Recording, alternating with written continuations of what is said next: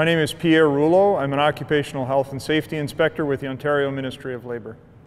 Uh, we are at the Operating Engineers Training Institute of Ontario at Oakville, and we're here to learn what's involved in a tower crane inspection.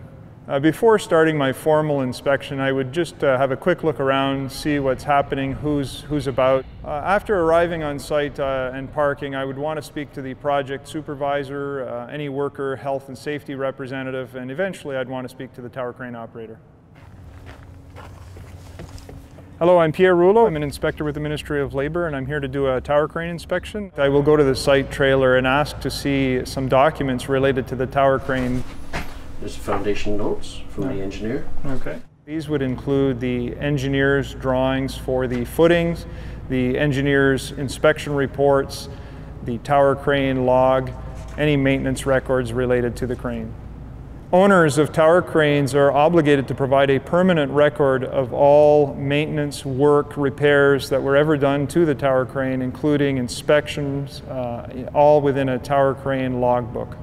The Ministry of Labour is concerned that tower cranes be properly uh, engineered, inspected, that their components are safe even before erection. And once they're erected, they need to be inspected by a professional engineer licensed in the province of Ontario or a person that is competent that is designated by that engineer. Once the crane is working, uh, it, the workplace parties are responsible to ensure that it is inspected regularly, maintained, and operated in accordance with the manufacturer's instructions.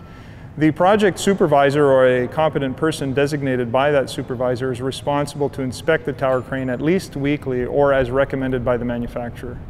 I wouldn't mind having a look at the crane now, or can we do that? Absolutely. When it comes to the foundation of the tower crane, I want to ensure that it's been designed by a professional engineer and that it's been inspected uh, by a professional engineer as well. I'd like to start uh, with asking you about uh, the electrical safety here. Can you tell me about a bit about the electrical setup, the grounding, etc.? Um, you can see the transformers are all securely bolted uh, to the crane. When it comes to safe hoisting practices, I want to make sure that the load is uh, safe and secure itself, that it's uh, we pay attention to its weight, uh, the center of gravity, that the rigging is set up properly and in good condition.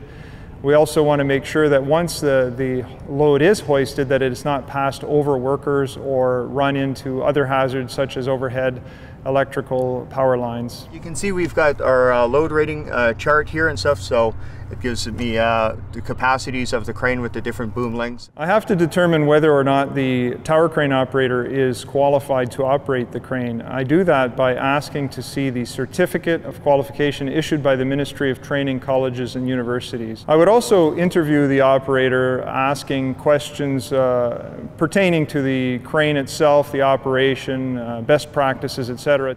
Walter, uh, can you tell me about the load block and the overlimit block? Uh, once a week we do our load moment tests. This is I'll pick up this block here and uh, when I try to pick up the uh, over uh, load block uh, it's going to trip the limit switch thus protecting uh, the crane's structure. Construction projects are busy places where conditions are changing constantly. This is especially true if there's a tower crane involved. It's important that everybody pay attention to what's going on. Employers are obligated to, to provide their workers with proper and safe equipment training, information, instruction, and adequate supervision so that they can perform their job safely. For more information, I recommend that you go to the Ministry of Labor's website or the Infrastructure Health and Safety Association website.